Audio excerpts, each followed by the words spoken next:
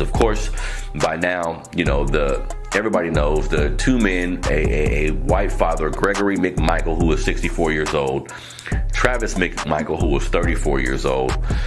They see a black man jogging in their community. Let them tell it. There's been burglaries in the area recently. I just read a story about video footage that came out that showed Ahmaud standing at like a construction site. He wasn't vandalizing anything or removing anything, but he's just being shown at the construction site. So these white supremacists are trying to say that they feared he was going to rob something or do something wrong. They, they hunt the brother down and basically assassinate him in broad daylight, right? Now, um, of course, both men by now have been caught and charged with murder and aggravated assault. And the fucked up part about all of this, I mean, this happened February 23rd, family. And if you let the family tell it, some articles I was reading basically says that the prosecutors were declining to bring charges against these dudes, right? So the actual video being surfaced I'm thinking was the catalyst. Excuse me. I'm thinking was the catalyst to actually making this happen.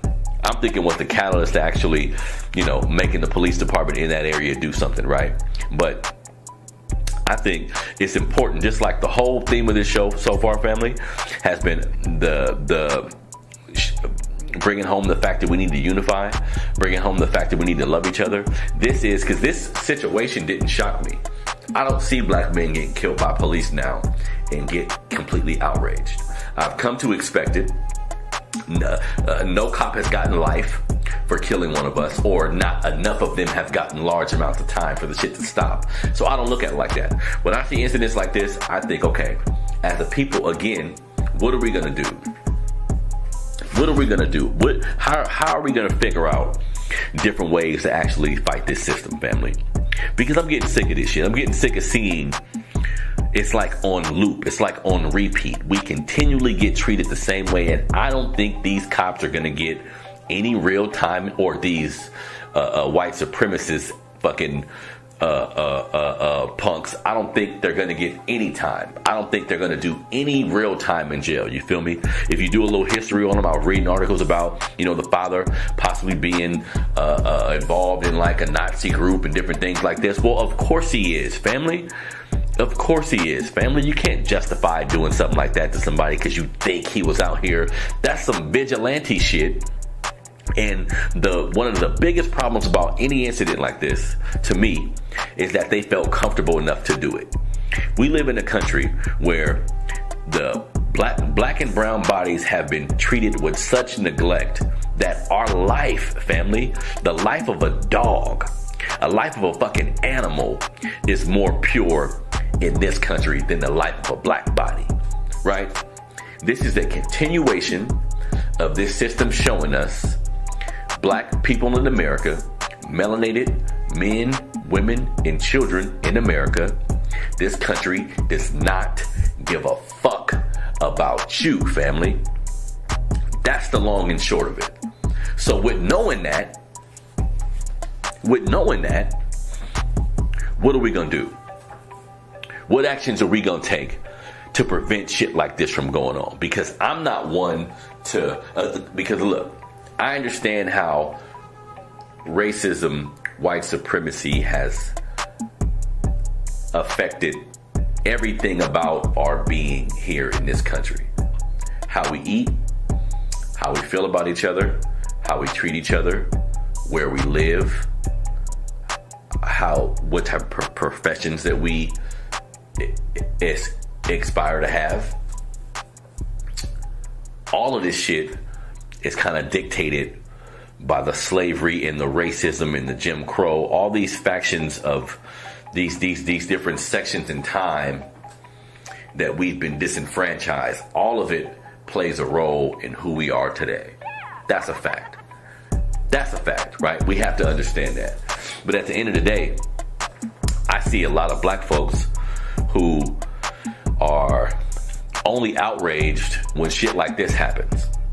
What about when there's no uh, what about when there's no police brutality at the moment? or there's no white cop or white vigilante shooting us? How are we treating each other when none of this shit's going on? You see what I'm saying? Because I see a lot of people who only become revolutionary warriors, so to speak, when they see some shit they should be outraged about. When in actuality, family, we getting fucked over every day in this country. Every day. Right? Seeing a specific incident does not make me any more upset or any less upset. Every day we should be doing shit to better our people as on the individual level, you should be doing something to better your people. If you not, then you shouldn't give a fuck about when we get shot. You shouldn't give a fuck about when these white supremacists is harming us. What the fuck are you doing? You feel me? On a personal level. What are you doing? Calm down with all the bullshit, man. Let's figure it out. What are you doing today to better your community? Not just your family. It ain't just about your fucking family. What are you doing for your community at large? Huh? If you not, don't give a don't don't worry about the brother Ahmaud Arbery. Don't worry about that because you part of the fucking problem too. You feel me? You feel me? So calm down, man. Calm down. We need to realize something, man. When I see incidents like this, it's becoming extremely difficult because I'm a hip hop fan. I love our culture. I mean, I absolutely bleed that shit. I love it. Right. But it's getting extremely difficult for me to listen to a black man talk about what he gonna do to another nigga, right? Who stepped on your shoes, who fucked your bitch, who took some dope from you, who sold some dope on your spot, who done some silly shit that in the large scheme of things ain't really got nothing to do with nothing, you will fuck him up. But we find out two white men killed a brother in New York, in Florida, in Dallas, wherever it may be. Who riding for him? Riding for him, family? When the last time we heard of a white man killed a killed a kid, killed a teenager, killed a black man, and all of a sudden his house was shot up? Just just in, just in some just, just just out of the blue, his house was shot up. He he ended up dead, right? So when are we gonna put all of this shit into perspective for real, right? Because I'm not one to preach to anybody about black on black crime because I know crime is a proximity based thing, right? It's not based on the color of the person you're around, it's based on who you live around. I get that. But come on, family. Come on, family. What we doing out here? What we doing out here? We need to figure out a reach to reach the young dudes in the street. We need to figure out a way to reach the people in our community who haven't quite tapped in with a third eye yet, who haven't quite figured out that the war starts inside of you, like the revolution starts inside of you. We need to figure out a way to tap in with them. A lot of us who consider ourselves conscious or who consider ourselves aware of what's going on in, in society, we have no problem talking to each other. We have no problem building at times. We have no problem coming together. That shit is a little easier, right? But we have a lot of people in our society who are black who don't really think that way. We need to figure out a way to reach these brothers and sisters, man, because these is the warrior class in our society Some of them are coming over, some of them are, are, are rocking with us. But at the end of the day, as long as we keep treating each other a certain way, people outside of our community will continue to do the same shit too. What happened to this brother was unfortunate. What happened to this brother is nothing more than history re- repeating itself. These these vigilante white supremacist piece of shit motherfuckers won't get a whole bunch of time in jail. They won't. Two, three, four, five years. Something like that. They'll be out, right?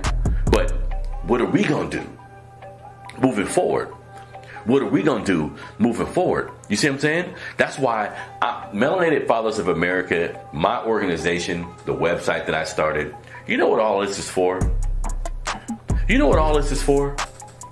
To make black folks give a shit about other black folks. That's it. That's it.